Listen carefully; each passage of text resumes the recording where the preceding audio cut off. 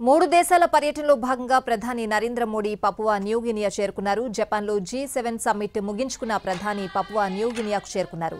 ప్రధాని మోడీకి ఆ దేశ ప్రధాని జేమ్స్ మార్పే స్వాగతం పలికారు. ఈ సమయంలో ఆసక్తికర సన్నివేశం కనిపించింది. ప్రధాని కాళ్ళకు నమస్కరించడానికి ప్రయత్నించారు మార్పే. ఆయన్ను పైకి లేపిన ప్రధాని కౌగిలించుకున్నారు. ఆ తర్వాత తన మంత్రివర్గ సహచరులను ప్రధానికి పరిచయం చేశారు. ప్రధానికి స్వాగతం పలికేందుకు పలువురు భారతీయులు తరలివచ్చారు.